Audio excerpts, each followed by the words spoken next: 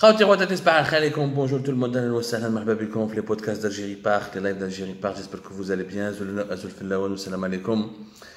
Nous allons parler aujourd'hui d'une euh, d'une famille, d'un nom qui est très connu en Algérie, mais qui est associé à une seule personne. La famille Nzar. Elle est toujours associée au général Khaled Nzar. Et on pense que dans les Nzar, et que dans la politique, dans le monde des affaires, il n'y a que le général Khaled Nzar et ses enfants. Or, on s'est trompé, on les Algériennes et les Algériens se trompent lourdement, parce qu'il y a une autre famille Nzar qui a énormément prospéré dans les affaires et qui a accumulé notamment une fortune importante en France à l'étranger, mais qui n'a jamais attiré l'attention des projecteurs des médias, ni celle, ni, ni, ni de l'attention, ni des projecteurs des autorités d'ailleurs, des autorités publiques, de la justice ou des services de sécurité. On va parler d'un certain monsieur qui s'appelle Lamin Nazar, qui n'a rien à voir avec le général Nazar, hein, et qui n'a rien à voir avec ses enfants. Lamin Nazar, qui est né en avril 1968, ils avaient la société agroalimentaire Soplé. Soplé كانت معروفه الناس يعرفوها في الجي ثاني بزاف باسكو سيتي بازي على شراكه نوتامون هذه Soplé elle a été créée en 1998 où elle, elle était dans le, elle commercialisait les produits laitiers les dérivés du lait donc le lait les yaourts etc هادو c'est des Nazar qui n'ont rien à voir مع encore une fois le général Khan Nazar برك شنو شنو هما ils, étaient, ils se sont fait une fortune importante parce que lorsque Soplé de la société n'a pas pu marcher, n'a pas pu fonctionner, elle a fait faillite. Le terrain Taha, elle s'étendait sur l'usine des Soplé, à Chalaka, elle s'étendait sur un, un, terrain de 2200 mètres carrés. Elle a été vendue comme concession au fameux Morad Elmi, le fameux patron de Sovac, l'un des hommes d'affaires les plus riches à l'époque du régime de Bouteflika. Il était classé parmi les cinq grosses fortunes du pays. Sovac, représentant de Volkswagen, Seat, les voitures Porsche, etc. En 2012, il a acheté le terrain à 2200 mètres carrés pour 65 milliards de centimes.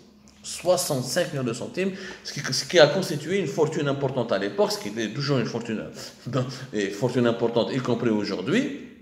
Bon, donc Hadi Soplé l'a fait faillite, la Minzar, le Morad Ulmi, il a empoché les 65, millions les 65 milliards de centimes, où il s'est totalement converti dans d'autres business. Le problème, c'est que Hadi Minzar, c'était un grand flambeur. D'ailleurs, le problème, c'est que c'est ça, il, avait vraiment beaucoup d'argent, mais les autorités algériennes ne se sont jamais intéressées à lui pour comprendre l'origine des fonds. Parce que Soplé a fait faillite. Et malgré la faillite de, l'entreprise familiale, le monsieur est resté quand même, il avait un train de vie princier. La preuve, en avril 2002, Lamine Zar, pour se il s'est marié à Marrakech, au Maroc, il a loué un avion charter. Il a pris toute sa famille et tous ses, amis dans un seul avion au Maroc à Marrakech. Au Maroc, à l'époque, euh, quand, euh, il a organisé ce mariage, à Rabat, au niveau du palais marocain, ils ont pensé, ils c'était le fils du général Khaled Nzar. Les autorités marocaines, ils étaient étonnés. Le général Khaled Nzar marie son fils, euh, le général algérien Khaled Nzar marie son fils à Marrakech, et il nous a même pas informé. On aurait pu l'aider, on va participer à ce mariage. En fait, quand ils ont fait l'enquête, les Marocains, ils ont compris que ça n'avait, Nzar n'a rien à voir avec le général Khaled Nzar, avec son fils Lotfi Nzar. Ça, c'est pour l'anecdote, c'est pour vous dire l'homonymie, comment elle peut susciter des situations de confusion. Donc, euh, euh, malgré les difficultés familiales dans le groupe Soplé, euh, M. Lamine il a créé une société immobilière importante en France. Il a acheté des biens immobiliers chics dans le 16e arrondissement de Paris. Le 16e arrondissement qui devient en ce moment un village algérien. Nous en avons beaucoup parlé sur Algérie Park. Le 16e arrondissement, c'est parmi les quartiers les plus chics, non seulement de Paris, mais de toute l'Europe, de tout le continent européen. Il a acheté des appartements, il a créé une société immobilière pour gérer euh, ce, ce, ces biens immobiliers. Donc, on va les biens immobiliers. Alors, euh, cette société immobilière, cette société civile immobilière, elle s'appelle Sana. Elle est située au niveau de la rue de la Pompe, l'une des rues les plus chics et les plus prestigieuses du 5e arrondissement.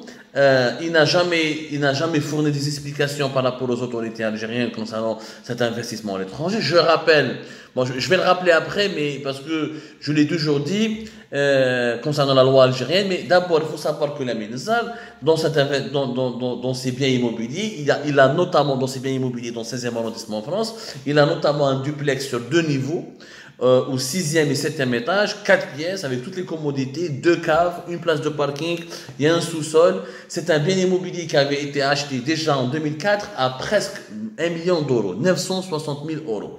960 000 euros en 2004, aujourd'hui, ça vaut, en 2020, ça vaut minimum le double, si ce n'est pas le triple, c'est-à-dire nettement au-delà de 2 millions d'euros. En 2016, la première société immobilière a été Sana, a été liquidée, derrière une assemblée générale le 2 mars 2015. Donc, euh, euh, mais les biens ont été gardés. Les biens de Nabil Nazar ont été gardés. Il a même continué de fructifier ses, ses biens immobiliers en France. Nous avons contacté Nabil Nazar à la même reprise.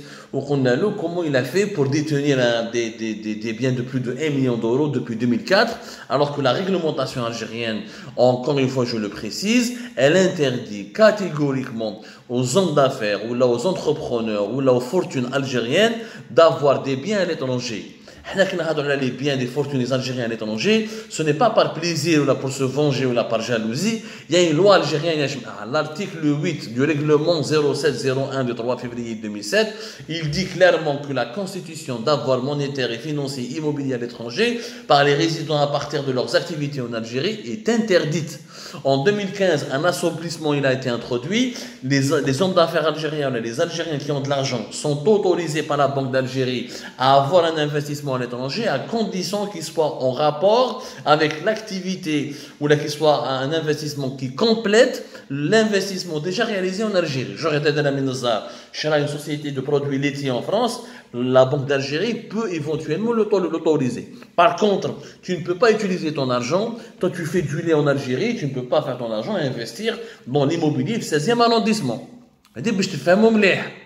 En plus, euh, euh, il y a des placements d'argent, euh, le bien immobilier qu'il avait par la mine et son épouse qu'il avait été acheté au début des années 2000 a été agrandi. Ils ont acheté une seconde entrée sur l'avenue Paul Doumer, toujours dans le 16e arrondissement. Ils ont recouru à une agence immobilière pour laquelle ils, vont, ils ont versé une commission de 40 000 euros.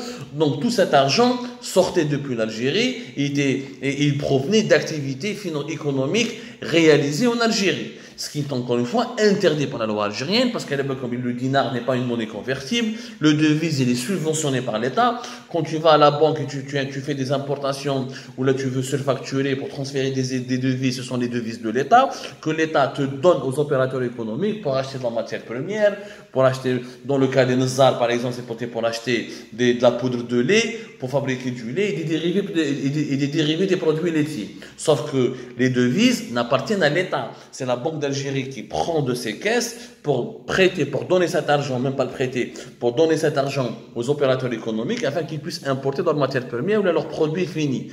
Moment, ils mettent de l'argent, ils mettent des dinars euh, dans les banques, ils touchent l'équivalent en devises, en dinars, pour pouvoir développer leurs activités économiques en Algérie. C'est pour ça que c'est vraiment interdit, parce que le dinar n'est pas convertible, il est subventionné par l'État. Moi, je suis pour qu'on change de réglementation. Et la réglementation, elle est là. Elle est là, donc la loi, elle est là. On la respecte, on la change. Et pour la changer, c'est un modèle économique qu'il faut totalement révolutionner. Il faut rendre le dinar convertible, enlever les subventions, que, ne plus subventionner le dinar. Et là, il y aura un choc économique important, un petit bouleversement, une période adaptation importante pour le pays. Ceci dit, au-delà de du 16e arrondissement, pour revenir à la Menzar, il a créé une autre société en Espagne, à Madrid. Nous avons découvert au cours de nos investigations, mais cette société aussi la Compagnia Mercantile del Café, et elle dégageait un chiffre d'affaires chaque année de 2,5 millions et demi d'euros. Maintenant, aide la société, est-ce qu'elle a été déclarée aux autorités algériennes? Bien sûr que non. Est-ce qu'elle a obtenu les autorisations de la Banque d'Algérie pour un tel investissement à l'étranger? Eh bien, malheureusement, non. Donc, si, à oui dire, des appartements dans le 16e arrondissement, il, a des sociétés importantes en Espagne avec, pratiquement presque 3 millions d'euros de chiffre d'affaires, et tout cela, yani, euh, euh, à la, à, au vu au sud des autorités algériennes, au vu, je ne sais pas si les autorités algériennes sont au courant, mais si nous, simples médias, nous avons pu faire une enquête et le découvrir, ce, ce serait grave que les services secrets algériens ou la justice algérienne ne soient pas en informés. On s'est beaucoup acharné sur les Haddad, les Tahkout, les Ulmi, parce qu'ils avaient soi-disant transféré leur argent à l'étranger. C'est un argent qui provient de l'Algérie. C'est un argent qui a été volé, investi en Algérie, à l'étranger dans des biens immobiliers et dans des investissements financiers. Il n'y a pas que, il n'y a pas que ces illégales qui sont connus, qui sont en prison.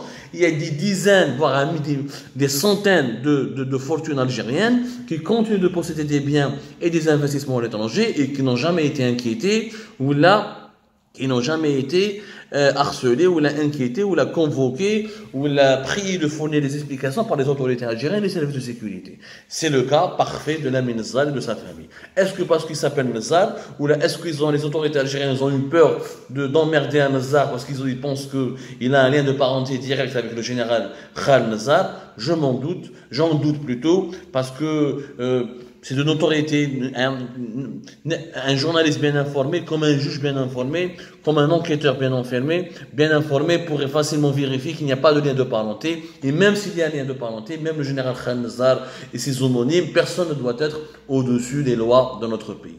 Alors comme ça, tout à l'heure pour d'autres éclairages et d'autres révélations.